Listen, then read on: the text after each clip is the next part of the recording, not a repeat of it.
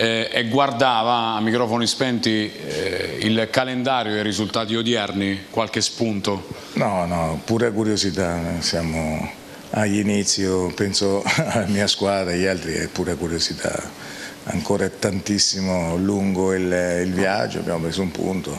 io non disdegno mai del punto, eh, è normale che come si era messa la partita siamo, andati, siamo caduti nel trabocchetto della partita sporca sulle palle sparate e abbiamo, non abbiamo fatto il gioco nostro, lì è stato secondo me l'errore della giornata. Secondo tempo, oh, mister, sicuramente diverso rispetto al primo, anche perché eh, la Roma City ha trovato il pari all'ottavo, quindi eh, subito si poteva fare meglio in fase difensiva su quel pallone gestito da Battistoni, due interventi non pulitissimi in area, poi il secondo pulito. Ma si, si, può fare sempre meglio Lorenzo, cioè, abbiamo fatto tanti errori, tante, tanti, tanti sbagli, ci stanno, sicuramente anche come il centrocampista è andato via tranquillo sul dribbling, tante cose, abbiamo eh, siamo stati un po' superficiali, però ripeto,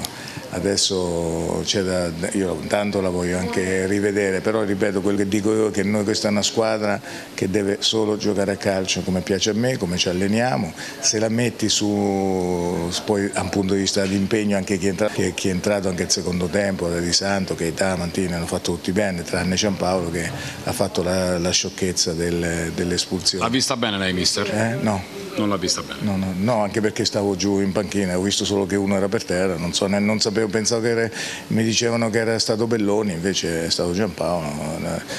una sciocchezza eh, che, che, ha fatto, pagherà, pagherà la multa perché lasciare in dieci compagni non è mai bello. Questa scelta di appunto Giampaolo eh, non titolare si porta dietro qualche problemino eh, rispetto a quello che ci raccontò lei prima della gara con la Fermana oppure ha, voluto provare non solo Russo lì alto oppure rinforzare la fase difensiva no. con Casella, Alessandretti e i vari? No, no, eh, Giampaolo ha fatto un allenamento sabato e era deciso se convocarlo poi ieri mattina ha fatto qualcosa, mancava un quarto d'ora, ci siamo giocati la carta a Ciampaolo, ma Ciampaolo non si sta allenando, c'è un fastidio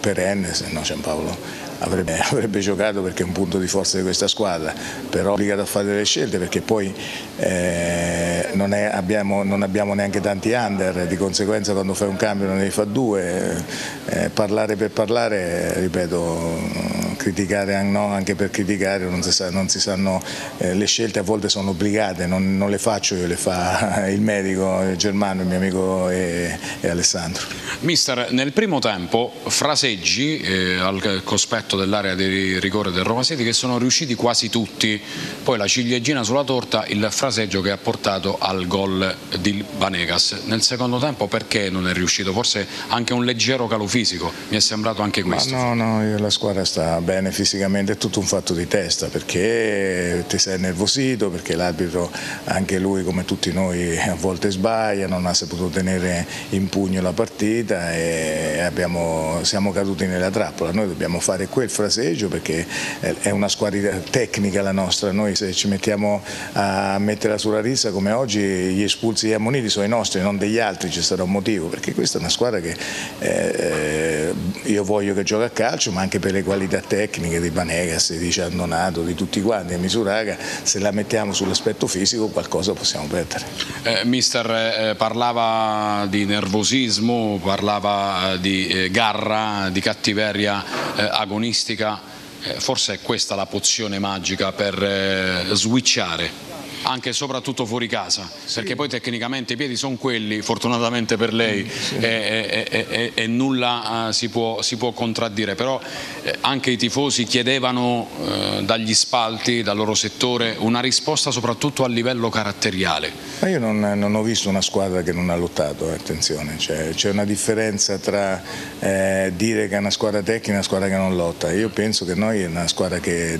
lotta, che è anche aggressiva, quando, perché noi anche anche il primo tempo loro hanno provato a giocare due volte e non giocavano perché eravamo messi a 90 metri dalla porta nostra, poi hanno sempre lanciato la palla infatti, però io dico proprio che non è che ci manca la gara, è che non dobbiamo andare a giocare su palle lunghe, solo su palle lunghe perché le caratteristiche nostre sono altre, quello. Non, non dico che questa squadra, questa squadra ha gli attributi, questa squadra dà sempre tutto, però è giusto che lo dia nel campo proprio, non nel campo altrui, questo che io rimprovero e ho detto ai ragazzi. Mister, eh, dando per scontato che fisicamente i suoi ragazzi stanno bene, a livello mentale. È un bene per Giovanni Pagliari giocare tra tre giorni o preferiva attendere la settimana naturale, quella di domenica prossima? Ma guarda, a me Lorenzo, a me quello che mi fa ridere, adesso guardavo a tutti, qui c'è un'atmosfera strana, qui sembra che un pareggio sia una, una depressione, una depressione totale, per come la vittoria fosse una cosa scontata, eh, come la vittoria che l'Aquila deve vincere tutte le domeniche, l'Aquila deve, deve, cercare di vincere alla Forse fine. Forse però è più un appello eh, ai tifosi, alla no, piazza. No, ma non è tifosi, i tifosi quelli che stanno qui possono dire quello che pare, ma anche all'ambiente, all'ambiente in toto.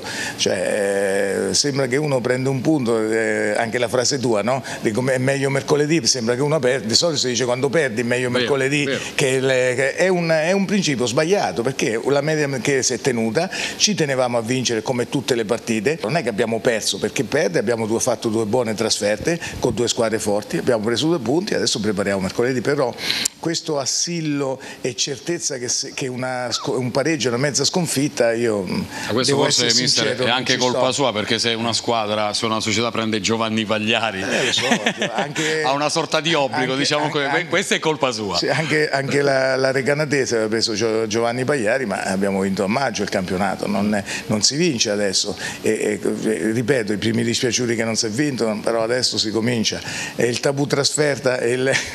cioè, a me mi viene numeri dicono Beh, questo, però sì, poi ovviamente sì, lei guardate. Sì, sì, anche perché i numeri hai fatto tre pareggi su quattro partite, magari vinci la, la prossima e stai in media inglese perfetta sulle partite fuori casa.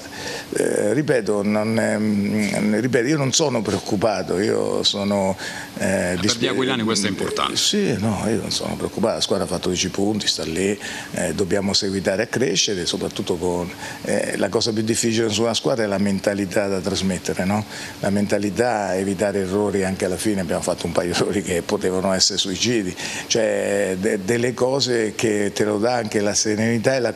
la consapevolezza di essere forte. Questa squadra ancora deve prendere secondo me la consapevolezza di essere forte e con il lavoro sono convinto, visto la serietà del gruppo Gallero, sono bravi ragazzi, penso che ci arriveremo.